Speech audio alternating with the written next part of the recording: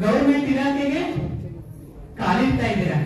ಹಾಗಾಗಿ ನಿಮ್ಗೆಲ್ಲರಿಗೂ ಕೂಡ ಇದು ಸಂತೋಷದ ಕ್ಷಣ.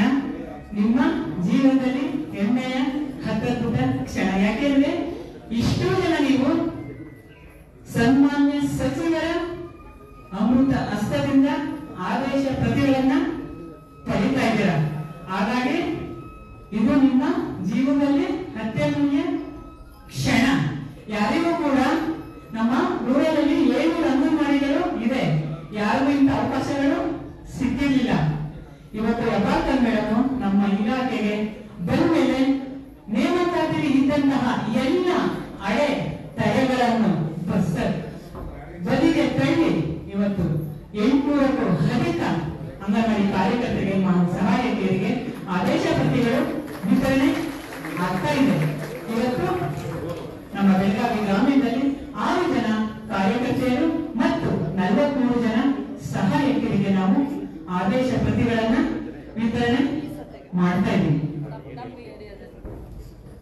ಪರವಾಗಿ ಮತ್ತೊಮ್ಮೆ ಮಗದೊಮ್ಮೆ ನಮ್ಮೆಲ್ಲರ ಹೆಮ್ಮೆಯ ಸನ್ಮಾನ್ಯ ಸಚಿವರಿಗೆ ಭಕ್ತಿಪೂರ್ವಕ ಧನ್ಯವಾದಗಳನ್ನ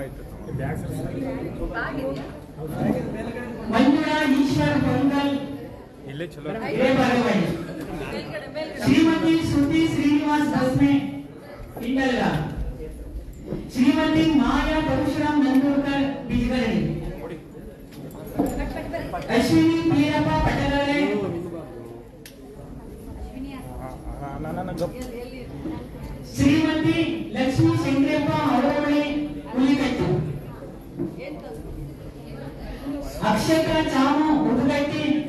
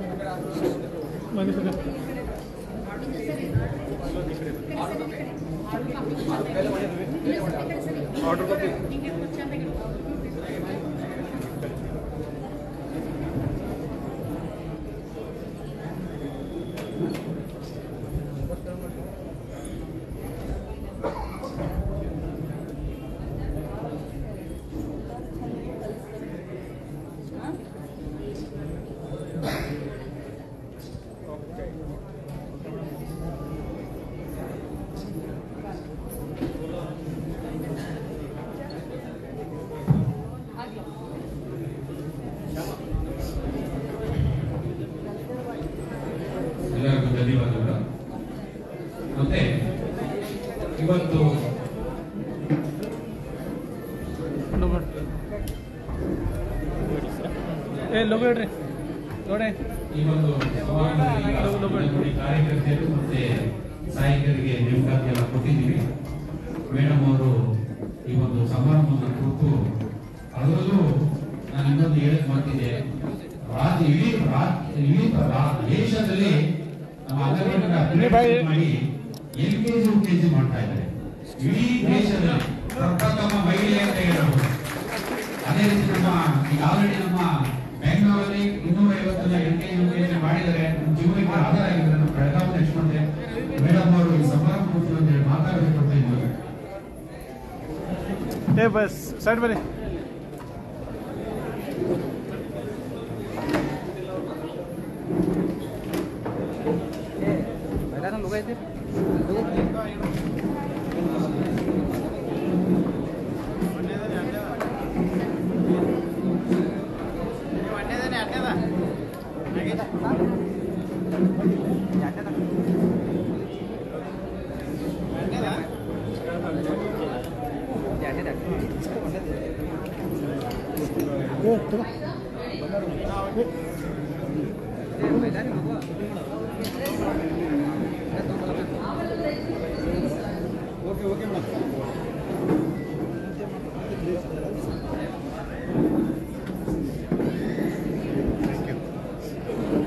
ಮೊದಲನೇದಾಗಿ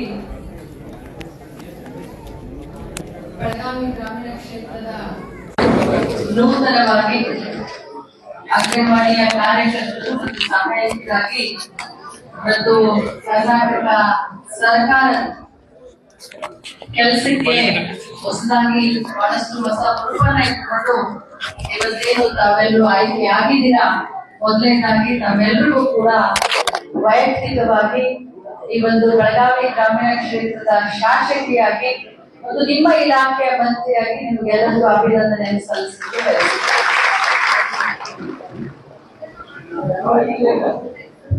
ಜೊತೆಯಲ್ಲಿ ಬಹಳಷ್ಟು ನನ್ನ ಮಾಧ್ಯಮದ ಎಲ್ಲ ಸಹೋದರರಿಗೆ ಇದು ಒಂದು ಅವಿಸ್ಮರಣೀಯ ಒಂದು ಸಂದರ್ಭ ಯಾಕಂತಂದ್ರೆ ವಿಶೇಷವಾಗಿ ಇವರೆಲ್ಲರ ಒಂದು ಹಾರೈಕೆಯಿಂದ ನಮ್ಮ ಬೆಳಗಾವಿ ಮತಕ್ಷೇತ್ರದ ಎಲ್ಲ ಅಕ್ಕ ತಂಗಿಯರ ಒಂದು ಪ್ರೀತಿ, ವಿಶ್ವಾಸದಿಂದ ಇವತ್ತು ರಾಜ್ಯದಲ್ಲಿ ಮಹಿಳಾ ಮಕ್ಕಳ ಕಲ್ಯಾಣ ಇಲಾಖೆಯ ಸಚಿವೆಯಾಗಿ ನಾನು ಕೆಲಸ ಮಾಡ್ತಾ ಇದ್ದೇನೆ. ನನಗೆ ಬಹಳ ಸಂತೋಷ ಅನಿಸ್ತು ನನ್ನ ಇಲಾಖೆಯಿಂದ, ನನ್ನ ಗ್ರಾಮೀಣ ಕ್ಷೇತ್ರದಲ್ಲಿ ಸುಮಾರು ಐವತ್ತು ಜನರಿಗೆ ನನ್ನ ಇಲಾಖೆಯಲ್ಲಿ ಕೆಲಸ ಕೊಡೋದು ವಿಶೇಷವಾಗಿ ನನಗೆ ಬಹಳ ಸಂತೋಷ ಅನಿಸಿ ಇವತ್ತು ವೈಯಕ್ತಿಕವಾಗಿ ನಾನೇ ಅವರಿಗೆ ಈ ಆರ್ಡರ್ ಕಾಪಿಗಳನ್ನ ಕೊಡ್ತೀನಿ. ಇದೊಂದು ಅವಿಸ್ಮರಣೀಯ ಸಮಯ ನನ್ನ ಜೀವನದಲ್ಲಿ ಯಾವತ್ತು ನೆನಪಿನಿಂದ ಇರಲಿ ಅಂತ ಹೇಳಿ ನಾನು ಇವತ್ತು ತಮ್ಮ ತಮ್ಮನ್ನೆಲ್ಲರನ್ನೂ ನನ್ನ ಗ್ರಹ ಕಚೇರಿಗೆ ಕರೆಸ್ಕೊಂಡು ಈ ಒಂದು ಖುಷಿಯ ಸಂದರ್ಭದಲ್ಲಿ ತಮಗೆ ಅಭಿನಂದನೆ ಹೇಳಿಕೆ ಮಾಧ್ಯಮದ ಎಲ್ಲ ನನ್ನ ಸಹೋದರರನ್ನು ಕೂಡ ಕರೆದಿದ್ದೀನಿ. ಬಂಧುಗಳೇ, ತಮ್ಮೆಲ್ಲರಿಗೂ ಕೂಡ ಗೊತ್ತು. ಸ್ವಲ್ಪ ಯಾರು ಬಾಯಿ ಮಾಡ್ಬೇಡ. ದಯಮಾಡಿ. ತಮ್ಮೆಲ್ಲರಿಗೂ ಕೂಡ ಗೊತ್ತು. ಹತ್ತೊಂಬತ್ ನೂರ ಎಪ್ಪತ್ನಾಲ್ಕನೇ ಇಸ್ವಿನಲ್ಲಿ ಮಹಿಳಾ ಮತ್ತು ಮಕ್ಕಳ ಕಲ್ಯಾಣ ಈ ಇಲಾಖೆಯಲ್ಲಿ ಪ್ರಪ್ರಥಮ ಬಾರಿಗೆ ನಮ್ಮ ದೇಶದ ಉಕ್ಕಿನ ಮಹಿಳೆ ಇಂದಿರಾ ಗಾಂಧೀಜಿಯವರು ಈ ಅಂಗನವಾಡಿಯನ್ನ ತೆಗಿಬೇಕು ಅಂತ ಹೇಳಿ ಯಾರು? ಇಂದಿರಾ ಗಾಂಧೀಜಿಯವರು ಈ ಅಂಗನವಾಡಿಗೆ ಚಾಲನೆಯನ್ನ ಕೊಟ್ಟರು. ಯಾಕೆ ಅಂತಂದ್ರೆ ಬಡವರ ಮಕ್ಕಳಿಗೆ, ಹಳ್ಳಿಯ ಮಕ್ಕಳಿಗೆ ಪೌಷ್ಟಿಕ ಆಹಾರದ ಜೊತೆಯಲ್ಲಿ ಹಳ್ಳಿಯಲ್ಲಿನೇ ಅವ್ರಿಗೆ ಒಳ್ಳೆ ಶಿಕ್ಷಣ ಸಿಗ್ಬೇಕು, ಒಳ್ಳೆ ಆರೈಕೆ ಸಿಗ್ಬೇಕು ಅಂತ ಹೇಳಿ ನಲವತ್ತೊಂಬತ್ತು ವರ್ಷದ ಹಿಂದೆ ದಿವಂಗತ ಈ ದೇಶದ ಪ್ರಧಾನಿಯಾದಂತ ಇಂದಿರಾ ಗಾಂಧೀಜಿಯವರು ಕರ್ನಾಟಕ ರಾಜ್ಯದಲ್ಲಿ, ಅದು ಮೈಸೂರು ಹೊಳೆನರಸೀಪುರದಲ್ಲಿ ಪ್ರಪ್ರಥಮ ಬಾರಿಗೆ ಅಂಗನವಾಡಿಯನ್ನ ತೆಗೆದ್ರು ನನ್ನ ಭಾಗ್ಯ ನೋಡಿ, ಮುಂದಿನ ವರ್ಷಕ್ಕೆ ಐವತ್ತು ವರ್ಷ ತುಂಬ ಸುವರ್ಣ ಕಾಲ. ಸುವರ್ಣ ಮಹೋತ್ಸವವನ್ನ ಕರ್ನಾಟಕ ರಾಜ್ಯದಲ್ಲಿ ಪ್ರಾರಂಭ ಮಾಡಿದಂತ ಈ ಅಂಗನವಾಡಿಗಳ ಇತಿಹಾಸ ದೇಶದಲ್ಲೇ ಕರ್ನಾಟಕದಲ್ಲಿ ಪ್ರಾರಂಭ ಮಾಡಿದ್ರು. ಈಗ ಸುವರ್ಣ ಮಹೋತ್ಸವವನ್ನ ನಾವು ಕರ್ನಾಟಕದಲ್ಲಿ ಮಾಡ್ಲಿಕ್ಕೆ ನಾನು ಇಲಾಖೆ ಮಂತ್ರಿಯಾಗಿದ್ದು ನನಗೆ ಬಹಳ ಸಂತೋಷ ಅನಿಸುತ್ತೆ. ತಮಗೆಲ್ಲರಿಗೂ ಹೇಳಲಿಕ್ಕೆ ಬಯಸ್ತೇನೆ, ಈ ಅಂಗನವಾಡಿಯ ಪರಿಕಲ್ಪನೆ ನಾನಿವತ್ತು ಕೇಳಿದೆ, ಮಾಧ್ಯಮದ ನನ್ನ ಸಹೋದರಿಗೆ ಹೇಳಲಿಕ್ಕೆ ಬಯಸ್ತೇನೆ ಎಂ ಬಿ ಎ ಆದಂತವ್ರು. ಎಂ ಎ ಕಲ್ತಂತವ್ರಿಗೆ ಬಿ ಎ ಕಲ್ತಂತವ್ರಿಗೆ ಬಿ ಎಡ್ ಕಲ್ತಂತವ್ರಿಗೆ ಬಿಇ ಕಲ್ತಂತವ್ರಿಗೆ ನಾನು ಇವತ್ತು ಅಂಗನವಾಡಿಯ ಟೀಚರ್ನ ಒಂದು ಸರ್ಟಿಫಿಕೇಟ್ನ ಅವ್ರಿಗೆ ಕೊಟ್ಟೆ. ನನಗೆ ಬಹಳ ಹೆಮ್ಮೆ ಅನ್ಸುತ್ತೆ. ಇವತ್ತು ಒಂದು ಕಾಲ ಇತ್ತು ಅಂಗನವಾಡಿಗೆ ಹೋಗೋ ಮಕ್ಕಳು ಅಂತಂದ್ರೆ ಅವ್ರಿಗೆ ಶ್ರೀಮಂತರ ಹಾಗೆ ನರ್ಸರಿಗೆ ಫೀಸ್ ಕಟ್ಟಲಿಕ್ಕೆ ಆಗೋದಿಲ್ಲ, ಬಡವ್ರ ಮಕ್ಕಳು ಅಷ್ಟೇ ಅಂಗನವಾಡಿಗೆ ಹೋಗುವ ಒಂದು ಕಾಲ ಇತ್ತು. ಆದ್ರೆ ಈಗ ಅಂಗನವಾಡಿಯ ಪರಿಕಲ್ಪನೆ ಬದಲಾಗಿದೆ. ನಾವು ಅಂಗನವಾಡಿಯನ್ನ ಸರ್ಕಾರಿ ಪೂರ್ವ ಪ್ರಾಥಮಿಕ ಶಾಲೆಗಳು ಅಂತ ನಾವು ಮಾಡ್ತಾ ಇದ್ದೀವಿ. ಈಗಾಗಲೇ ಹೋದ ವಾರ ಗವರ್ಮೆಂಟ್ ಮಾಂಟೆಸರಿ ಅಂತ ಬ್ಯಾಂಗ್ಳೂರ್ನಲ್ಲಿ ಎರಡ್ ನೂರ ಐವತ್ತು ನರ್ಸರಿಗಳನ್ನ, ಎಲ್ ಕೆ ಜಿಯನ್ನ, ಯು ಕೆ ಜಿಯನ್ನ ನಾವು ಪ್ರಾರಂಭ ಮಾಡಿದ್ವಿ. ದೇಶ ಬೆಳೀತಾ ಇದೆ, ರಾಜ್ಯ ಬೆಳೀತಾ ಇದೆ. ನಮ್ಗೆ ಅಂಗನವಾಡಿಗಳು ಕೂಡ ನಾವು ಬೆಳಿಬೇಕು ಅನ್ನುವಂತ ದೃಷ್ಟಿಯಿಂದ ಇವತ್ತು ಕಾಂಪಿಟೇಟಿವ್ ಯುಗ ಮಾಡರ್ನೈಸೇಷನ್ ಯುಗ, ಇಂಥ ಯುಗದಲ್ಲಿ ಮಕ್ಕಳು ಯಾಕಂದ್ರೆ ಆ ತಂದೆ, ತಾಯಿ ಬಿಡುವೆಲ್ಲದೆ ಕೆಲಸ ಮಾಡುವಂತ ಸಂದರ್ಭದಲ್ಲಿ ನಮ್ಮ ಅಂಗನವಾಡಿಗಳಿಗೆ ಮಕ್ಕಳನ್ನ ಸೇರಿಸ್ತಾರೆ. ಯಾಕೆ ಅಂತಂದ್ರೆ ನಿಮ್ಮ ಮೇಲೆ ವಿಶ್ವಾಸ ಇದೆ. ನೀವು ಆ ತಾಯಿ ಸ್ಥಾನದಲ್ಲಿ ನಿಂತು ಆ ಮಕ್ಕಳನ್ನ ಪಾಲನೆ, ಪೋಷಣೆ ಮಾಡ್ತೀರಾ? ಅವ್ರಿಗೆ ಕಲಿಕೆಯನ್ನ ಹೇಳ್ಕೊಡ್ತೀರಾ ಅನ್ನುವಂತ ನಿಮ್ಮ ಮೇಲೆ ಒಂದು ವಿಶ್ವಾಸ ಇತ್ತು ನೀವು ಅವ್ರಿಗೆ ಹೊಟ್ಟೆಗೆ ಹಾಕ್ತೀರಾ ಹಸಿಗಾದ್ರೆ ಅವ್ರಿಗೆ ಊಟ ಮಾಡಿಸ್ತೀರಾ ಹೊಲಸಾದ್ರೆ ಕ್ಲೀನ್ ಮಾಡ್ತೀರಾ, ನಿದ್ದೆ ಬಂದ್ರೆ ಮಲಗಿಸ್ತೀರಾ ಅನ್ನುವಂತ ವಿಶ್ವಾಸ ನಿಮ್ಮೆಲ್ಲರ ಮೇಲೆ ಇತ್ತು ಆ ಅಂಗನವಾಡಿಗೆ ಕಲಿಸ್ತಾ ಇರುವಂತ ನಮ್ಮ ತಂದೆ ತಾಯಿಯಂದ್ರಿಗೆ ನಾವಿವತ್ತೊಂದು ಭಾಷೆಯನ್ನ ಕೊಡ್ಬೇಕಾಗತ್ತೆ.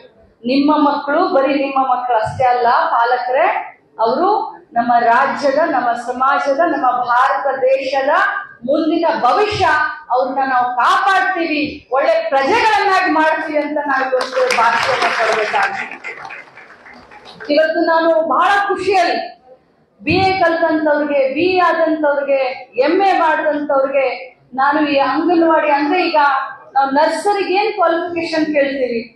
ಒಂದು ನರ್ಸರಿಗೆ ಯಾರನ್ನಾದ್ರೂ ಅಡ್ಮಿಷನ್ ಮಾಡಿಸ್ಲಿಕ್ಕೆ ನಮ್ಮ ಮಕ್ಕಳನ್ನ ಕರ್ಕೊಂಡು ಹೋದ್ರೆ ಐವತ್ ಸಾವಿರ ಫೀಸ್ ಕೇಳ್ತಾರೆ. ಹಳ್ಳಿಯಲ್ಲಿ ಇಪ್ಪತ್ ಸಾವಿರಕ್ಕಿಂತ ಕಡಿಮೆ ಫೀಸ್ ಕೇಳೋದಿಲ್ಲ. ಆದ್ರೆ ನಮ್ಮ ಅಂಗನವಾಡಿಗಳಲ್ಲಿ ನಾವು ಒಂದ್ ರೂಪಾಯಿ ತಗೊಳ್ಳೋದಿಲ್ಲ ಮಕ್ಕಳನ್ನ ತಾಯಿಯ ತರ ನಾವು ಪ್ರೀತಿ ಮಾಡ್ತೀವಿ. ಪೌಷ್ಟಿಕ ಆಹಾರವನ್ನ ಕೊಡ್ತೀವಿ. ಇವತ್ತು ತಮ್ಮೆಲ್ಲರಿಗೂ ಹೇಳಲಿಕ್ಕೆ ಬಯಸ್ತೇನೆ ನಾನು, ಮಾನ್ಯ ಮುಖ್ಯಮಂತ್ರಿಗಳಾದಂತ ಸಿದ್ದರಾಮಯ್ಯನವರು, ಎರಡ್ ಸಾವಿರದ ಹದಿನೇಳರಲ್ಲಿ ಮಕ್ಕಳಿಗೆ ಬರೇ ಪೌಷ್ಟಿಕ ಆಹಾರ ಬರೀ ಅದರಿಂದ ಸಿಗೋದಿಲ್ಲ, ನಾವು ಎಷ್ಟು ಮೊಟ್ಟೆಯನ್ನ ಕೊಡ್ಬೇಕು.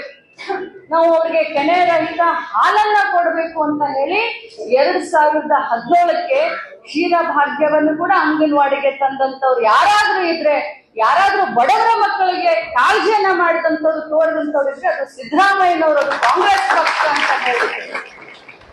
ಬರೀ ಶ್ರೀಮಂತರ ಪಾಲಿಗೆ ಅಷ್ಟೇ ಮೊಟ್ಟೆ ಭಾಗ್ಯ ಅದು ಸಾಧ್ಯ ಇಲ್ಲ. ಬಡವರು ಮಕ್ಕಳು ಕೂಡ ಪೌಷ್ಟಿಕ ಆಹಾರವನ್ನ ತಿನ್ನಬೇಕನ್ನುವಂತ ಆಸೆಯಿಂದ ಮೊಟ್ಟೆಯನ್ನು ಕೂಡ ಒಂದು ವಾರಕ್ಕೆ ಮೂರು ಮೊಟ್ಟೆಯನ್ನ ನಮ್ಮ ಮಕ್ಕಳಿಗೆ ಕೊಡಬೇಕು. ಯಾರು ಮೊಟ್ಟೆಯನ್ನ ತಿನ್ನೋದಿಲ್ಲ ಅಂತವ್ರಿಗೆ ಚಿಕ್ಕಿಯನ್ನ ಕೊಡ್ಬೇಕನ್ನುವಂತ ಕಾರ್ಯಕ್ರಮವನ್ನು ಕೂಡ ಇದು ಕೇಂದ್ರ ಸರ್ಕಾರ ನಮಗೆ ದುಡ್ಡು ಕೊಡಲ್ಲ. ಮೊಟ್ಟೆಗೆ, ಚಿಕ್ಕಿಗೆ ಮತ್ತು ಹಾಲಿಗೆ ಕೇಂದ್ರ ಸರ್ಕಾರ ದುಡ್ಡು ಕೊಡಲ್ಲ. ಇದು ರಾಜ್ಯ ಸರ್ಕಾರ ದುಡ್ಡನ್ನ ಭರಿಸುತ್ತೆ ಹನ್ನೊಂದು ರೂಪಾಯಿ ಮೊಟ್ಟೆ ಮತ್ತು ಹಾಲಿಗೆ. ಇದು ಯಾರ ಪರಿಕಲ್ಪನೆ ಅಂದ್ರೆ ಇದು ಸಿದ್ದರಾಮಯ್ಯನವರ ಆಶಯ ಹಾಗೆ ನಮ್ಮ ಮಕ್ಕಳಿಗೆ ನಾವು ಕೊಡ್ತಾ ಇದ್ವಿ. ಇನ್ನು ಬಂಧುಗಳ, ಇಷ್ಟೆಲ್ಲ ಕಲ್ತಂತವ್ರು ನೀವು ಬಂದಿದ್ದೀರಾ? ನಿಮ್ನೆಲ್ಲರನ್ನು ನೋಡಿದ್ರೆ ನನಗನ್ಸುತ್ತೆ, ಇನ್ನ ಮೇಲೆ ಅಂಗನವಾಡಿಗಳನ್ನ ನೋಡುವಂತ ದೃಷ್ಟಿ ಚೇಂಜ್ ಆಗುತ್ತೆ. ಸಮಾಜದ್ದಾಗ್ಲಿ ಜನರದ್ದಾಗ್ಲಿ. ನಿಮ್ನೆಲ್ಲರ ಮುಖವನ್ನ ಇವತ್ತು ನೋಡಿದ್ರೆ ನಾನು ಆ ಒಂದು ಏನು ಒಂದು ಅಪಾಯಿಂಟ್ಮೆಂಟ್ ಲೆಟರ್ ಅನ್ನ ಕೊಡೋದನ್ನ ನೋಡಿದ್ರೆ ತಮ್ಮಲ್ಲಿರುವಂತ ಸ್ಕಿಲ್ ನಾನು ಇವತ್ತೇ ಊಹಿಸಬಲ್ಲೆ. ಸುಮಾರು ಹತ್ತು ಕೋಟಿ ರೂಪಾಯಿಯನ್ನ ನಮ್ಮ ಇಲಾಖೆ ನಿಮ್ಮ ಸ್ಕಿಲ್ ಡೆವಲಪ್ಮೆಂಟ್ಗೆ ಇಟ್ಟಿದೆ.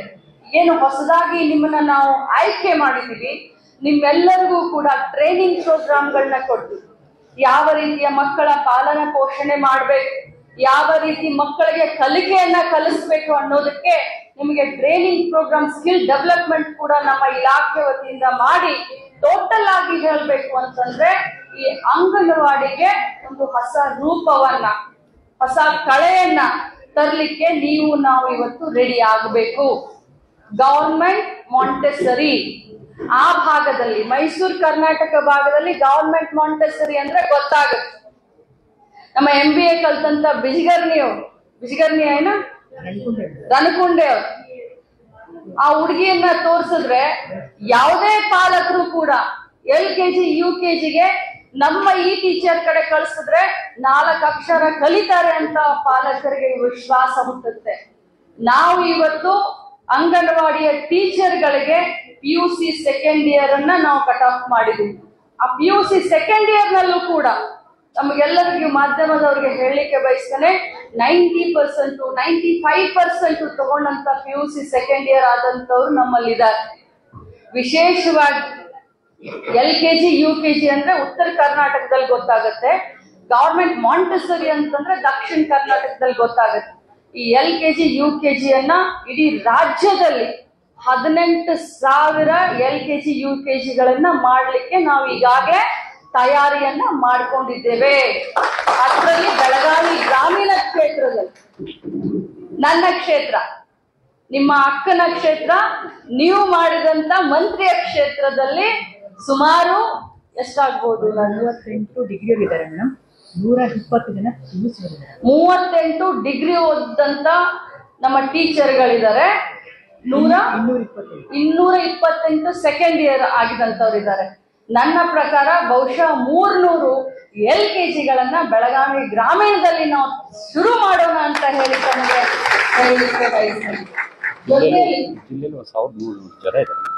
ಜಿಲ್ಲೆಯಲ್ಲಿ ಸುಮಾರು ಒಂದು ಸಾವಿರ ಎಲ್ ಕೆ ಜಿಗಳನ್ನ ನಾವು ನಮ್ಮ ಅಂಗನವಾಡಿಗಳಲ್ಲಿ ಆಂಗ್ಲ ಮತ್ತು ಕನ್ನಡ ಭಾಷೆಯಲ್ಲಿ ನಾವು ಶುರು ಮಾಡ್ತೀವಿ. ನಮ್ಮ ಇಲಾಖೆಯ ವತಿಯಿಂದ ನಮ್ಮ ಮಾಧ್ಯಮದ ಎಲ್ಲ ಬಂಧುಗಳಿಗೆ ಮತ್ತು ನಮ್ಮ ಅಂಗನವಾಡಿಯ ಎಲ್ಲರಿಗೂ ಹೇಳಲಿಕ್ಕೆ ಬಯಸ್ತೇನೆ. ಇಲಾಖೆ ವತಿಯಿಂದ ಮಕ್ಕಳಿಗೆ ಯೂನಿಫಾರ್ಮ್ ಕೊಡೋಣ ಯೂನಿಫಾರ್ಮ್ನ ಕೊಡ್ತೀವಿ.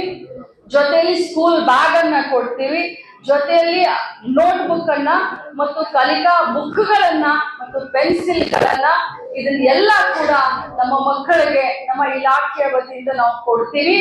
ಜೊತೆಯಲ್ಲಿ ಅವ್ರು ಎಲ್ ಕೆ ಜಿ ಪಾಸ್ ಆದ ತಕ್ಷಣ, U K G pass pass ಆದ ತಕ್ಷಣ ಟಿ ಸಿಗಳನ್ನು ಕೂಡ ಆ ಮಕ್ಕಳಿಗೆ ಕೊಡುವಂತ ಪ್ರಾವಿಷನ್ ನಮ್ಮ ಇಲಾಖೆ ಮಾಡಿದೆ. ಟೋಟಲ್ ಆಗಿ ಟೋಟಲ್ ಆಗಿ ಅಂಗನವಾಡಿಗಳಂತಂದ್ರೆ ಇವತ್ತಿನ ಮಕ್ಕಳ ಒಂದು ವಿದ್ಯಾಭ್ಯಾಸದ ಫ್ಯಾಕ್ಟ್ರಿಯಾಗಿ ತಯಾರಿ ಮಾಡಲಿಕ್ಕೆ, ಒಂದು ಮಾಡರ್ನೈಸೇಷನ್ ಮಾಡಲಿಕ್ಕೆ ನಾವೆಲ್ಲರೂ ಒಂದು ಸನ್ನದ್ಧ ಆಗಿದ್ದೇವೆ. ಇದಕ್ಕೆ ಮಾನ್ಯ ಮುಖ್ಯಮಂತ್ರಿಗಳಾದಂತ ಸಿದ್ದರಾಮಯ್ಯನವರ ಒಂದು ಆಶೀರ್ವಾದ ಕೂಡ ಈ ಒಂದು ಡಿಸಿಷನ್ಗೆ ಇದೆ ಅಂತ ತಮಗೆ ಹೇಳಲಿಕ್ಕೆ ನಾನು ಬಯಸ್ತೀನಿ.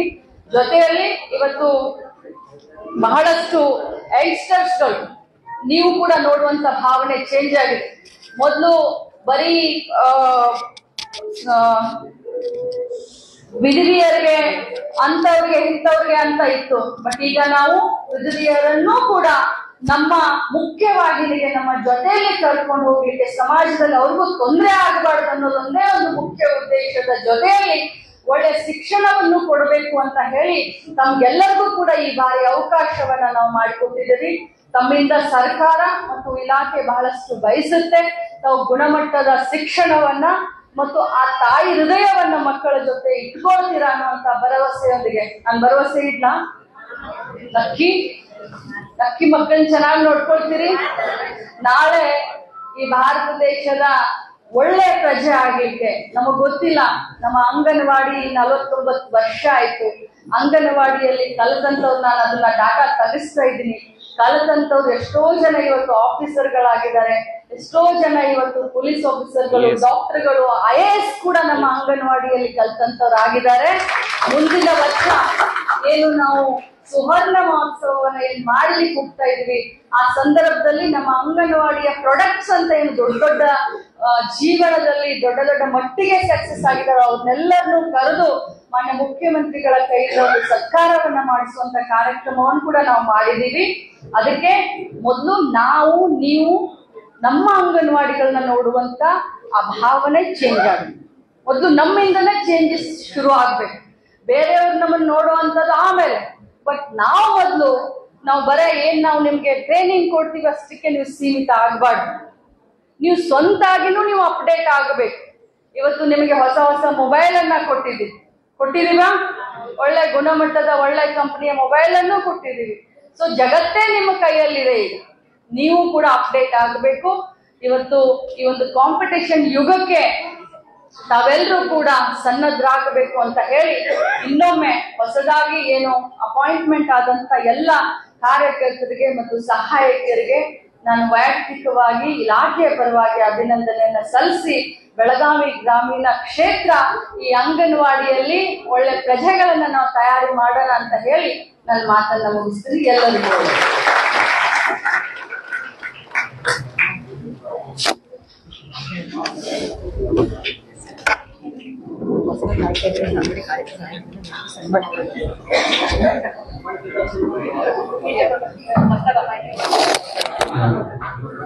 ಹೊಸದಾಗಿ ಆಯ್ಕೆಯಾಗಿರುವಂತಹ ಅಂಗನವಾಡಿ ಕಾರ್ಯಕರ್ತೆಯರು ಮತ್ತೆ ಸಹಾಯಕರು ನಮ್ಮ ಗ್ರಾಮೀಣ ತಾಲೂಕಿನ ಅವರು ಒಂದು ಸನ್ಮಾನ ಮಾಡಬೇಕು ಅಂತ ಅವ್ರ ಬಯಕೆ ಆಮೇಲೆ ಆಮೇಲೆ ಇದು ಮುಗಿಸಿದ್ವಿ ಓಕೆ. ಇದಾದ ನಂತರ ಅದು ಇದೆ ಮಾಧ್ಯಮದ ಎಲ್ಲ ನನ್ನ ಸಹೋದರರಿಗೆ ಮೊದಲನೇದಾಗಿ ಧನ್ಯವಾದವನ್ನ ಹೇಳ್ತಾ, ಬಹಳಷ್ಟು ಸಂತೋಷ ನನಗೆ ಇವತ್ತು ವಿಶೇಷವಾಗಿ ಬೆಳಗಾವಿ ಗ್ರಾಮೀಣ ಕ್ಷೇತ್ರದಲ್ಲಿ ಬಹಳಷ್ಟು ಜನ ನನಗೆ ಆಶೀರ್ವಾದ ಮಾಡಿ, ಅದರಲ್ಲೂ ಕೂಡ ಮಹಿಳೆಯರು, ಯುವಕರು ಬಹಳಷ್ಟು ನನ್ನ ಮೇಲೆ ಒಂದು ವಿಶ್ವಾಸ, ಪ್ರೀತಿಯನ್ನ ಇಟ್ಟುಕೊಂಡು ಇಂಥ ಒಂದು ದಿನಕ್ಕೆ ಕಾಯ್ತಾ ಇದ್ರು. ಆ ಸುಸಂಧಿ ಇವತ್ತು ಬಂದಿದೆ. ಇಲಾಖೆಯ ಮಂತ್ರಿಯಾಗಿ ಸುಮಾರು ಐವತ್ತು ಜನರಿಗೆ ಇವತ್ತು ನಾನು ಈ ಒಂದು ಅಂಗನವಾಡಿ ಸಹಾಯಕರು ಮತ್ತು ಕಾರ್ಯಕರ್ತರು ಅಂತ ಹೇಳಿ ಅಪಾಯಿಂಟ್ಮೆಂಟ್ ಲೆಟರ್ ಅನ್ನ ಕೊಡೋದು ನಿಜವಾಗ್ಲೂ ವೈಯಕ್ತಿಕವಾಗಿ ನನಗೆ ಬಹಳಷ್ಟು ಸಂತೋಷ ಕೊಟ್ಟಿದೆ. ಬರೀ ಬೆಳಗಾವಿ ಗ್ರಾಮೀಣ ಕ್ಷೇತ್ರದಲ್ಲಿ ಅಷ್ಟೇ ಅಲ್ಲ, ನಮ್ಮ ಇಡೀ ಜಿಲ್ಲೆಯಲ್ಲಿ ಸುಮಾರು ಎಂಟು ನೂರು ಜನರಿಗೆ ನಾವು ಇವತ್ತು ಅಪಾಯಿಂಟ್ಮೆಂಟ್ ಲೆಟರ್ಗಳನ್ನ ಕೊಡ್ತಾ ಇದ್ದೀವಿ. ಸೊ ಈ ಒಂದು ಸಂದರ್ಭದಲ್ಲಿ ತಮ್ಮ ಜೊತೆ ಈ ಒಂದು ಖುಷಿಯನ್ನು ಹಂಚ್ಕೊಳ್ಳಕ್ಕೆ ನಾನು ಕರೆದಿದ್ದೆ. ಯಾಕಂತಂದ್ರೆ ನಾನು ಯಾವತ್ತಿದ್ರೂ ಹೇಳ್ತೀನಿ, ಬಡವರು ಮಕ್ಕಳು ನಮ್ಮ ದೇಶದ ಆಸ್ತಿ ಬರೇ ಬಡವರು ಬಡವರು ಅಂತ ಹೇಳೋದ್ಕಿನ್ನ ಎಲ್ಲರನ್ನು ಸಮಾಜದಲ್ಲಿ ಜೊತೆಯಲ್ಲಿ ಕರ್ಕೊಂಡು ಹೋಗಿ ಒಳ್ಳೆಯ ಗುಣಮಟ್ಟದ ಆಹಾರದ ಜೊತೆಯಲ್ಲಿ ಗುಣಮಟ್ಟದ ವಿದ್ಯಾಭ್ಯಾಸವನ್ನ ಕಲಿಸೋದು ನಮ್ಮ ಏನು ಹೊಸದಾಗಿ ನಾಮಕರಣವನ್ನ ಮಾಡಿದೀವಿ. ಗೌರ್ಮೆಂಟ್ ಮಾಂಟೆಸರಿಗಳ ಒಂದು ಉದ್ದೇಶ. ಮಾನ್ಯ ಮುಖ್ಯಮಂತ್ರಿಗಳು ಕೂಡ ಎಲ್ಲ ರೀತಿಯ ಸಹಾಯವನ್ನ ನಮ್ಮ ಈ ಗೌರ್ಮೆಂಟ್ ಮಾಂಟಸರಿಗಳಿಗೆ ಕೊಡ್ತಾ ಇದ್ದಾರೆ. ಅದ್ರ ಜೊತೆಯಲ್ಲಿ ನಮ್ಮ ಅಂಗನವಾಡಿ ಕಾರ್ಯಕರ್ತರು ಮತ್ತು ಸಹಾಯಕಿಯರು ಇತ್ತೀಚಿನ ದಿನದಲ್ಲಿ ಬಹಳಷ್ಟು ಅಪ್ಡೇಟ್ ಆಗ್ತಾ ಇದ್ದಾರೆ. ನಾನು ಇವತ್ತು ತಮ್ಮ ಎದುರುಗಡೆನೆ ಕೊಟ್ಟಂತ ಏನು ಅವರಿಗೆ ನಾನು ಸರ್ಟಿಫಿಕೇಟ್ ಅನ್ನ ಕೊಟ್ಟೆ ಅಪಾಯಿಂಟ್ಮೆಂಟ್ ಲೆಟರ್ ಅನ್ನ ಕೊಟ್ಟೆ ತಾವೆಲ್ಲರೂ ಗಮನಿಸಿರ್ಬೋದು. ಎಷ್ಟೆಷ್ಟು ಕಲ್ತಂತವ್ರು ಇದ್ದಾರೆ ಎಷ್ಟೆಷ್ಟು ಇಂಟ್ರೆಸ್ಟ್ ತಗೊಂಡು ಈ ಕೆಲಸಕ್ಕೆ ಬಂದಿದ್ದಾರೆ. ಸೊ ಇಂಥ ಒಂದು ಸಂದರ್ಭದಲ್ಲಿ ಅವರಿಂದ ಬಹಳಷ್ಟು ನಿರೀಕ್ಷೆಯನ್ನ ಇಲಾಖೆ ಮಾಡಿದೆ. ಮತ್ತು ಅದ್ರ ಜೊತೆಯಲ್ಲಿ ರಾಜ್ಯ ಮತ್ತು ದೇಶಕ್ಕೆ ಒಂದು ಉತ್ತಮವಾದಂತ ಪ್ರಜೆಯನ್ನ ಮತ್ತು ಉತ್ತಮವಾದಂತ ಆಸ್ತಿಯನ್ನ ಅವ್ರು ಮಾಡಿಕೊಡ್ತಾರೆ ಅನ್ನೋದ್ರಲ್ಲಿ ಯಾವುದೇ ಸಂಶಯ ಇಲ್ಲ. ಮುಂದಿನ ವರ್ಷ ನಮ್ಮ ಇಲಾಖೆ ಐವತ್ತು ವರ್ಷ ಈ ಒಂದು ಅಂಗನವಾಡಿಗಳನ್ನ ಪ್ರಾರಂಭಿಸಿ ಐವತ್ತು ವರ್ಷ ಪೂರೈಸುವ ಈ ಸಂದರ್ಭದಲ್ಲಿ ದೊಡ್ಡ ಒಂದು ಕಾರ್ಯಕ್ರಮವನ್ನ, ಸುವರ್ಣ ಮಹೋತ್ಸವವನ್ನ ನಮ್ಮ ಇಲಾಖೆಯ ವತಿಯಿಂದ ನಾವು ಹಮ್ಮಿಕೊಳ್ತೀವಿ. ಇನ್ನೇನಾದ್ರೂ ಇದ್ರೆ ತಾವು ನನ್ನನ್ನು ಕೇಳ್ಬೋದು.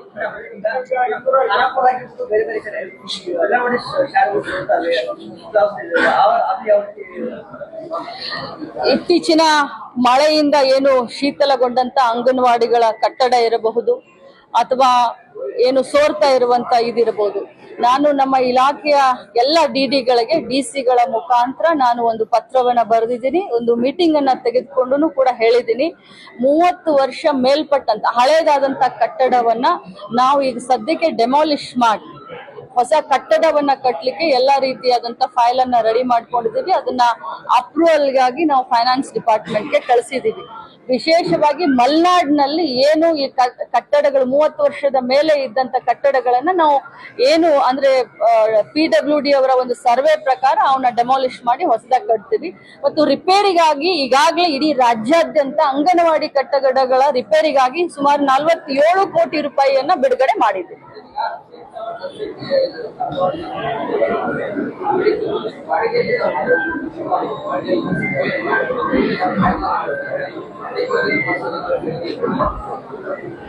ನೋಡಿ, ಸುಮಾರು ಅರವತ್ತೊಂಬತ್ತು ಸಾವಿರ ಅಂಗನವಾಡಿಗಳು ನಮ್ಮ ರಾಜ್ಯದಲ್ಲಿ ನಾವು ನಡೆಸ್ತಾ ಇದ್ವಿ. ಅರವತ್ತೊಂಬತ್ ಸಾವಿರ. ಈ ಅರವತ್ತೊಂಬತ್ ಸಾವಿರದಲ್ಲಿ ಐವತ್ತು ಸಾವಿರ ಸ್ವಂತ ಕಟ್ಟಡದಲ್ಲಿ ನಡೆಸ್ತೀವಿ. ಐವತ್ತು ಸಾವಿರ. ಆಮೇಲೆ ಹನ್ನೆರಡು ಸಾವಿರ ನಾವು ಬಾಡಿಗೆ ಕಟ್ಟಡದಲ್ಲಿ ನಡೆಸ್ತೀವಿ. ಉಳಿದಂತ ಏನು ನೀವು ಏಳು ಸಾವಿರ ಹತ್ತತ್ರ ಏನು ಇದಾವೆ? ಇವನ್ನ ಸ್ಕೂಲ್ಗಳಲ್ಲಿ ಒಂದು ಮೂರ್ ಸಾವಿರ, ಸ್ಕೂಲ್ ಬಿಲ್ಡಿಂಗ್ನಲ್ಲಿ ವಿದಿನ್ ದ ಸ್ಕೂಲ್ ಪ್ರಿಮೈಸಿಸ್ನಲ್ಲಿ ಮೂರ್ ಸಾವಿರ ಅಂಗನವಾಡಿಗಳನ್ನ ನಡೆಸ್ತೀವಿ.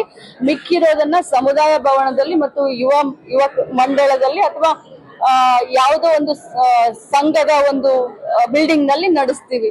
ಏನು ನಮಗೆ ಸ್ವಂತ ಕಟ್ಟಡ ಇಲ್ಲದೆ ಇರುವಂತ ಬಾಡಿಗೆ ಕಟ್ಟಡದಲ್ಲಿ ಇದ್ದಂತ ಹನ್ನೆರಡು ಸಾವಿರ ಅಂಗನವಾಡಿಗಳಿಗೆ ಈಗಾಗಲೇ ಇಡೀ ರಾಜ್ಯಾದ್ಯಂತ ನಾವು ಬೇಡಿಕೆ ಇಟ್ಟಂತ ಸಂದರ್ಭದಲ್ಲಿ ಸುಮಾರು ಆರು ಸಾವಿರ ನಿವೇಶನಗಳನ್ನ ಈಗಾಗಲೇ ಇಡೀ ರಾಜ್ಯಾದ್ಯಂತ ನಮ್ಮ ಇಲಾಖೆಗೆ ರೆವಿನ್ಯೂ ಡಿಪಾರ್ಟ್ಮೆಂಟ್ ದವರು ಕೊಟ್ಟಿದ್ದಾರೆ. ಆ ಆರು ಸಾವಿರ ನಿವೇಶನದಲ್ಲಿ ಪ್ರಥಮ ಹಂತದಲ್ಲಿ ಅಂದ್ರೆ ಫಸ್ಟ್ ಫೇಸ್ನಲ್ಲಿ ಒಂದು ಸಾವಿರ ಕಟ್ಟಡಗಳನ್ನ ಈ ವರ್ಷ ಕಟ್ಟಲಿಕ್ಕೆ ನಾನು ಹಣವನ್ನ ಎರಡ್ನೂರು ಕೋಟಿಯನ್ನ ಒಂದು ಕಟ್ಟಡಕ್ಕೆ ಇಪ್ಪತ್ತು ಲಕ್ಷದ ತರ ಎರಡ್ನೂರು ಕೋಟಿಯನ್ನ ಈಗಾಗಲೇ ಹಣವನ್ನ ಬಿಡುಗಡೆ ಮಾಡಿದ್ದೀನಿ ಹಂತ ಹಂತವಾಗಿ ಇನ್ನು ಉಳಿದಂತ ಏನು ಅನ್ ನಿವೇಶನ ಇದ್ದಲ್ಲಿ ಇನ್ನು ಐದು ಸಾವಿರ ಉಳಿತವೆ ಹಂತ ಹಂತವಾಗಿ ಅವನು ಕೂಡ ಶೀಘ್ರದಲ್ಲಿ ಮಾಡ್ತೀವಿ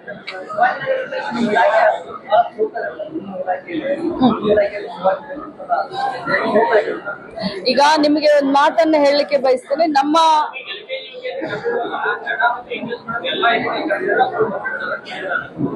ನೋಡಿ, ಮೂಲಭೂತ ಸೌಕರ್ಯ ಇದ್ದಂತ ಅಂಗನವಾಡಿಗಳನ್ನ ನಾವು ತಗೊಳ್ತಾ ಇದೀವಿ ಈಗ ಉದಾಹರಣೆಗೆ ತಮ್ಗೆ ಹೇಳ್ಬೇಕು ಅಂದ್ರೆ ನಮ್ಗೆ ಎರಡು ರೂಮ್ ಬೇಕಾಗ್ತವೆ. ಒಂದು ಎಲ್ ಕೆ ಜಿಗೆ ನಮಗೆ ಬೇಕಾಗುತ್ತೆ, ಒಂದು ಯು ಕೆ ಜಿಗೆ ಬೇಕಾಗುತ್ತೆ. ಅಕ್ಕಪಕ್ಕದಲ್ಲಿನೇ ಒಂದೇ ಊರಲ್ಲಿ ಸುಮಾರು ನಾಲ್ಕು, ಐದು ಅಂಗನವಾಡಿಗಳಿರ್ತವೆ. ಈಗ ಉದಾಹರಣೆಗೆ ಹೇಳಬೇಕು ಅಂತಂದ್ರೆ ನಮ್ಮ ಹಿರೇಬಾಗೇವಾಡಿಯಲ್ಲಿ ಹನ್ನೊಂದು ಸಾರಿ ಹತ್ತೊಂಬತ್ತು ಅಂಗನವಾಡಿಗಳಿದಾವೆ. ಆ ಹತ್ತೊಂಬತ್ತು ಅಂಗನವಾಡಿಗಳಲ್ಲಿ ನಾವು ಎರಡು ಅಂಗನವಾಡಿಗಳನ್ನ ನಾವು ಚೂಸ್ ಮಾಡ್ತೀವಿ, ಒಂದ್ರಲ್ಲಿ ಎಲ್ ಕೆ ಜಿ ಒಂದ್ರಲ್ಲಿ ಯು ಕೆ ಜಿ ಅದೇ ರೀತಿ ಸಿಟಿಯಲ್ಲೂ ಕೂಡ ಎರಡೆರಡು ಕಟ್ಟಡಗಳಿದ್ದಂತ ಅಂದ್ರೆ ಕಿಚನ್ ಇರಬೇಕು ಟಾಯ್ಲೆಟ್ ಇರಬೇಕು ಕಾಂಪೌಂಡ್ ಇರಬೇಕು. ಈ ಎಲ್ಲ ಮೂಲಭೂತ ಸೌಕರ್ಯಗಳು ಮತ್ತು ಮಕ್ಕಳ safety ಇದ್ದಂತಲ್ಲಿ L K G, U K ಜಿಗಳನ್ನ ಪ್ರಾರಂಭ ಮಾಡ್ತೀವಿ. ಹಾಗೆ ಹುಡುಕಿ ತೆಗೆದ್ರಲ್ಲಿ ಹದಿನೆಂಟು ಸಾವಿರದ ಈಗ ನಮಗೆ ಸಿಕ್ಕಿದೆ.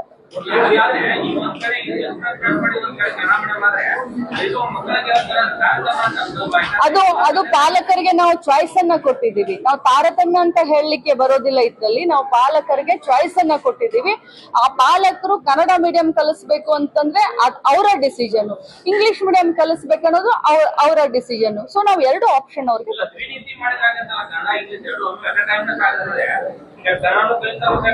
ಅದು ಪಾಲಕರಿಗೆ ಬಿಟ್ಟಂತ ವಿಚಾರ. ಯಾಕಂತಂದ್ರೆ ಈಗ ನಾವು ಎರಡನ್ನು ಕಂಬೈನ್ ಮಾಡಿ ಕಲಿಸ್ಲಿಕ್ಕೆ ಬರೋದಿಲ್ಲ. ಈಗ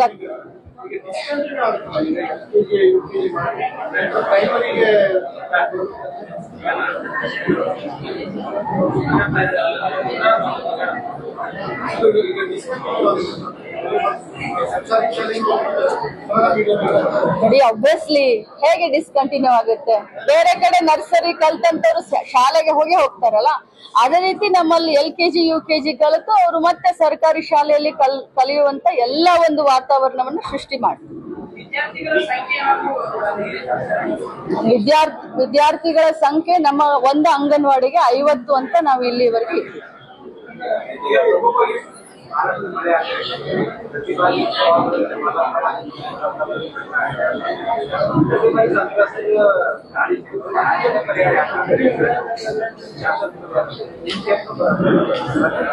ನೋಡಿ ಮಳೆ ಯಾವ ರೀತಿ ಆಗುತ್ತೆ ಅನ್ನೋದನ್ನ ಪ್ರಿಡಿಕ್ಟ್ ಮಾಡ್ಲಿಕ್ಕೆ ನಿಮಗೂ ಬರೋದಿಲ್ಲ, ನಮಗೂ ಬರೋದಿಲ್ಲ. ಇದಕ್ಕೆ ಶಾಶ್ವತ ಪರಿಹಾರ, ವಿಶೇಷ ಪ್ಯಾಕೇಜ್ ಅನ್ನೋದ್ಕಿನ್ನ ಕೇಂದ್ರ ಮತ್ತು ರಾಜ್ಯ ಎರಡು ಸೇರ್ಕೊಂಡು. ಯಾಕಂತಂದ್ರೆ ಇವತ್ತು ಮಹಾರಾಷ್ಟ್ರದಲ್ಲಿ ನಮಗೇನು ಅತನಿನಲ್ಲಿ ಕಾಗವಾಡದಲ್ಲಿ ಅಥವಾ ಇಲ್ಲಿ ಮಳೆ ಆಗಿ ನಮ್ಗೆ ನೆರೆ ಬಂದಿದ್ದಲ್ಲ. ಮಹಾರಾಷ್ಟ್ರದಲ್ಲಿ ಜಾಸ್ತಿ ಮಳೆ ಆಗಿ ಕೊಯ್ನಾ ಡ್ಯಾಮ್ ತುಂಬಿರೋದ್ರಿಂದ ನಮಗೆ ಈ ಕಡೆ ನೀರನ್ನ ನಾವು ತಗೊಂಡಿರೋದ್ರಿಂದ ಇವತ್ತು ಆ ಮಹಾರಾಷ್ಟ್ರಕ್ಕೆ ತೊಂದರೆ ಆಗಬಾರದು ಅನ್ನೋ ನಿಟ್ಟಿನಲ್ಲಿ ನೀರನ್ನ ನಾವು ಈ ಕಡೆ ತಗೊಂಡಿದ್ವಿ ಬಟ್ ಆ ನೀರನ್ನ ತೆಗೆದುಕೊಂಡು ನಾವು ಆಲಮಟ್ಟಿ ಮುಖಾಂತರ ನಾವು ಮುಂದೆ ಅದನ್ನ ಇದಕ್ಕೆ ರಾಯಚೂರ್, ಆ- ಕಡೆ ನಾವು ಬಿಡ್ತೀವಿ. ಬಟ್ ಶಾಶ್ವತ ಪರಿಹಾರ ಅಂತ ನೀವು ಹೇಳ್ತಾ ಇದ್ರಲ್ಲ ಇದ್ರ ಮಧ್ಯೆ ಕೇಂದ್ರ ಮತ್ತು ರಾಜ್ಯ ಮತ್ತು ಮಹಾರಾಷ್ಟ್ರ ಸರ್ಕಾರ ಎಲ್ಲ ಸೇರ್ಕೊಂಡು ಇದರ ಒಂದು ನೀತಿಯನ್ನು ತಯಾರು ಮಾಡ್ಬೇಕಂತ ನನ್ನ ಅನಿಸಿಕೆ.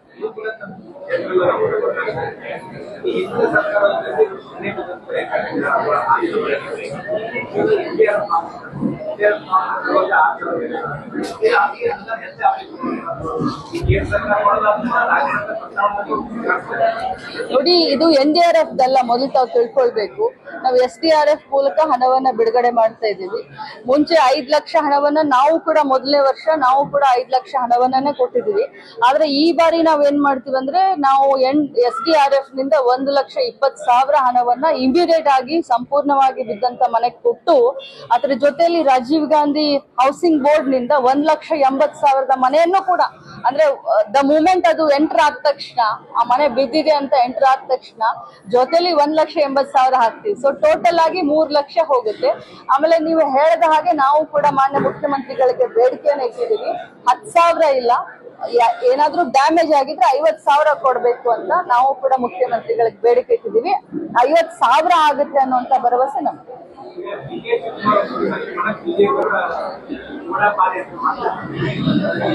ನೋಡಿ, ಅವರು ಬಿಜೆಪಿಯವರು ನಾವು ಕಾಂಗ್ರೆಸ್ನವರು.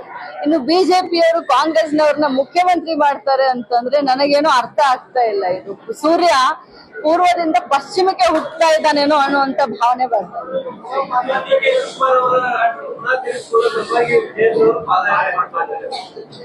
ಅದು ಮೋಸ್ಟ್ಲಿ ಅವರಿಗೆ ಕನಸಿನಲ್ಲಿ ಅಂತ ವಿಚಾರ ಬಂದಿರಬೇಕು. ಯಾರು ಈ ಮಾತನ್ನ ಹೇಳಿದ್ದಾರೆ? ಯಾವ ರಿನ? ಏನ್ ರೀನಾ? ನನಗಂತೂ ಅರ್ಥ ಆಗ್ತಾ ಇಲ್ಲ. ನಾವಂತೂ ಕಾಂಗ್ರೆಸ್ನವರು. ಈಗ ಬಿಜೆಪಿಯವರು ನಮಗೆ ಸಹಾಯ ಮಾಡ್ತಾರೆ ಅಂತಂದ್ರೆ ನನಗೆ ಅದ್ರ ಬಗ್ಗೆ ಏನು ಉತ್ತರ ಕೊಡ್ಬೇಕು ಅನ್ನೋದೇ ಗೊತ್ತಾಗ್ತದೆ.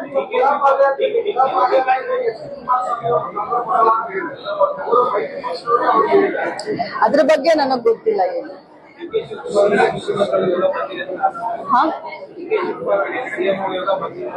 ನೋಡಿ, ನಾನು ನಮ್ಮ ಪಕ್ಷದ ಶಿಸ್ತಿನ ಸಿಪಾಯಿ. ನೀವು ಯಾವುದೇ ರೀತಿ ಪ್ರಶ್ನೆ ಕೇಳಿದ್ರು ಒಂದೇ ಮಾತನ್ನ ಹೇಳ್ತೀನಿ. ನೂರ ಮೂವತ್ತೈದು ಜನ ಶಾಸಕರ ಆರ್ಷಿ ಬಂದಿದ್ದಾರೆ. ಈಗ ಸದ್ಯಕ್ಕೆ ನಮ್ಮ ರಾಜ್ಯದಲ್ಲಿ ಸಿದ್ದರಾಮಯ್ಯ ಸಾಹೇಬರು ಮುಖ್ಯಮಂತ್ರಿ ಇದ್ದಾರೆ. ಏನೇ ಇದ್ರೂ ಕೂಡ ಇದು ಹೈಕಮಾಂಡ್ ಬಿಟ್ಟಂತ ವಿಚಾರ.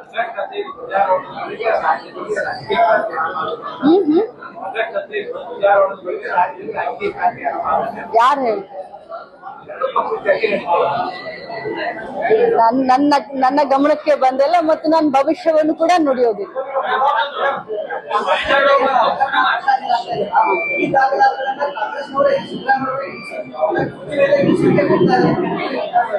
ಯಾರು ಹೇಳ್ತಾರೆ?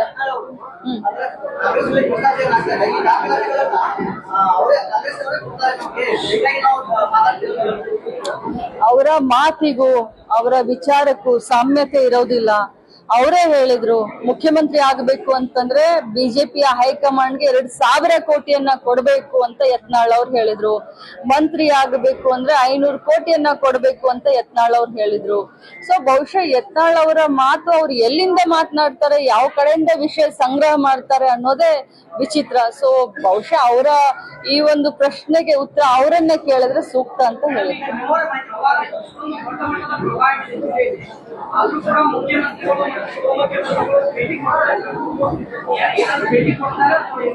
ಬಹಳ ಒಳ್ಳೆ ಕ್ವಶನ್ ಕೇಳಿದ್ರಿ ಬ್ರದರ್ ನೀವು. ಯಾಕಂತಂದ್ರೆ ಮುಖ್ಯಮಂತ್ರಿಗಳಾಗ್ಲಿ, ಉಪಮುಖ್ಯಮಂತ್ರಿಗಳಾಗ್ಲಿ ನಮಗೆ ಇನ್ಸ್ಟ್ರಕ್ಷನ್ ಕೊಟ್ಟಿದ್ದಾರೆ. ಜಿಲ್ಲಾ ಉಸ್ತುವಾರಿಗಳಾಗ್ಲಿ ಅಥವಾ ಆಯಾ ಆನ ಆನೆ ಕಟ್ಟಿ ಕಟ್ಟಿನ ಒಂದು ಜವಾಬ್ದಾರಿಯನ್ನು ಹೊತ್ಕೊಂಡಂತ ಮಂತ್ರಿಗಳು ಹೋಗಿ ಎಲ್ಲ ಸಮೀಕ್ಷೆ ಮಾಡಿ ವರದಿಯನ್ನ ಒಪ್ಪಿಸಿ ಅಂತ ಹೇಳಿ. ಬಟ್ ನಾನು ನಾನು ನಿಮ್ಮನ್ನ ಪ್ರಶ್ನೆ ಕೇಳಲಿಕ್ಕೆ ಬಯಸ್ತೇನೆ, ನೂರು ವರ್ಷದ ಇತಿಹಾಸದಲ್ಲಿ ಬೆಳಗಾವಿಯಲ್ಲಿ ಆಗದಂತ ಫ್ಲಡ್ ಹತ್ತೊಂಬತ್ತರಲ್ಲಿ ಆಗಿತ್ತು. ಆ ಸಂದರ್ಭದಲ್ಲಿ ತಮಗೂ ಎಲ್ಲರಿಗೂ ಗೊತ್ತಿದೆ, ಹತ್ತೊಂಬತ್ತರಲ್ಲಿ ಯಾವ ಸರ್ಕಾರ ಕೇಂದ್ರದಲ್ಲಿತ್ತು, ರಾಜ್ಯದಲ್ಲಿತ್ತು. ಯಾವ ಕೇಂದ್ರದ ಪ್ರಧಾನಮಂತ್ರಿಗಳು ಏನಾದ್ರೂ ನಮ್ಮ ಜಿಲ್ಲೆಗೆ ಬಂದು ನೂರು ವರ್ಷದ ಇತಿಹಾಸದಲ್ಲಿ ಆಗ್ಬಾರ್ದಂತ ಘಟನೆ ಆದ್ರೂ ಕೂಡ ಏನಾದ್ರೂ ಬಂದು ನೋಡಿದ್ರ, ಅದ್ರ ಬಗ್ಗೆನೂ ತಾವು ಇದನ್ನ ವಹಿಸಿ ಆದ್ರೆ ಮುಖ್ಯಮಂತ್ರಿಗಳಾದಂತ ಸಿದ್ದರಾಮಯ್ಯನವ್ರಿಗೆ ಬಹಳಷ್ಟು ಕಾಳಜಿ ಬೆಳಗಾವಿ ಜಿಲ್ಲೆ ಮೇಲೆ ಇದೆ ಅಂತ ಹೇಳಲಿಕ್ಕೆ ಬಯಸ್ತೀನಿ.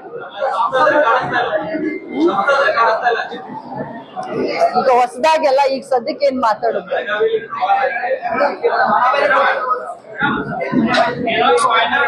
ಬೇಡ ಬಿಡ್ರಪ್ಪ, ಈಗ ಸದ್ಯಕ್ಕೆ ಸೋತಿದೀವಿ, ಈಗ ಸದ್ಯ ಮಾತಾಡೋದು ಬೇಡ. ಅವ್ರು ಒಳ್ಳೆ ಕೆಲಸ ಮಾಡ್ಲಿ ಅಂತ ನಾನು ಬೇಡ್ಕೊಳ್ಳಿ ಒಳ್ಳೆ ಕೆಲಸ ಮಾಡ್ಲಿಕ್ಕೆ ಸ್ವಲ್ಪ ಟೈಮ್ ಕೊಡ್ಬೇಕು.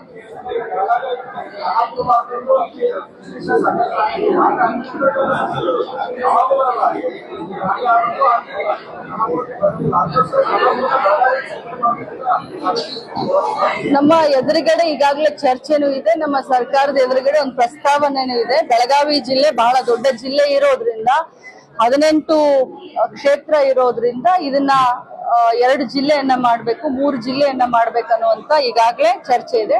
ಅದಕ್ಕೆ ನನ್ನ ಸಹಮತನೂ ಇದೆ, ಯಾಕಂದ್ರೆ ಅಭಿವೃದ್ಧಿಯ ದೃಷ್ಟಿಯಿಂದ ದೊಡ್ಡ ಜಿಲ್ಲೆ ಆಗಿರೋದ್ರಿಂದ ಬಹಳ ತೊಂದರೆ ಜನಸಾಮಾನ್ಯರಿಗೂ ಆಗ್ತಾ ಇದೆ ಅಡ್ಮಿನಿಸ್ಟ್ರೇಷನ್ಗೂ ಆಗ್ತಾ ಇದೆ ಸೊ ಅಭಿವೃದ್ಧಿಯ ದೃಷ್ಟಿಯಿಂದ ಇದನ್ನ ಮೂರು ಜಿಲ್ಲೆ ಮಾಡೋದು ಒಳ್ಳೇದು ಅಂತ ನಾವ್ ಈಗಾಗಲೇ ಮಾನ್ಯ ಮುಖ್ಯಮಂತ್ರಿಗಳಿಗೆ ಹೇಳಿದ್ವಿ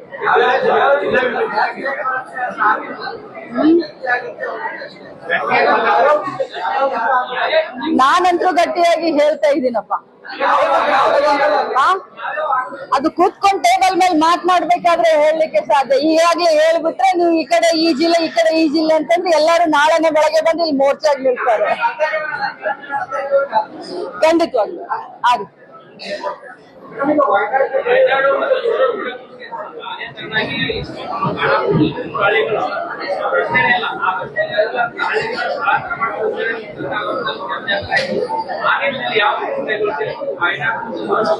ನಿಮ್ಗೆ ನನ್ ನನ್ಗೆ ಮಾಧ್ಯಮದ ಎದುರುಗಡೆ ಹೇಳಲಿಕ್ಕೆ ನನಗೇನೆ ಮುಜುಗರ ಒಮ್ಮೆ ಆಗುತ್ತೆ ನಮ್ಮ ಜಿಲ್ಲೆಯಲ್ಲಿ ಎಷ್ಟು ಏನು ಮ್ಯಾರೇಜ್ಗಳು ಬ್ರಿಡ್ಜ್ಗಳು ಎಷ್ಟು ಮುಳುಗಡೆ ಆಗಿದೆ ಅನ್ನೋದನ್ನು ಕೂಡ ಆ ಲೆಕ್ಕ ಕೂಡ ತಪ್ಪು ತಪ್ಪಾಗಿ ಈಗ ಅಧಿಕಾರಿಗಳು ಕೊಟ್ಟಿರೋದು ಕೂಡ ನನ್ನ ಗಮನಕ್ಕೆ ಬಂದಿದೆ.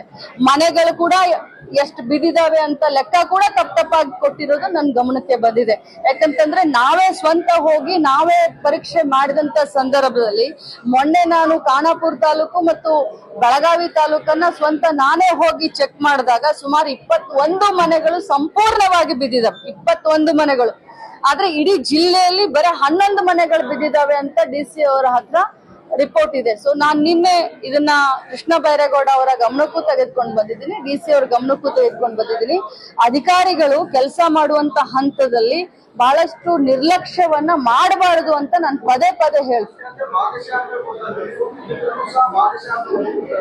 ಇಲ್ಲ ನಾನು ನಾನು ನಾನು ಸೋಮ್ ನಾನು ಸೋಮವಾರ ಮಂಗಳವಾರ ಮೀಟಿಂಗ್ ಕರೆದಿದ್ದೀನಿ. ಇದೇ ವಿಚಾರವಾಗಿ ಡಿ ಸಿ ಕಚೇರಿಯಲ್ಲಿ. ಆ ಸಂದರ್ಭದಲ್ಲಿ ಸರಿ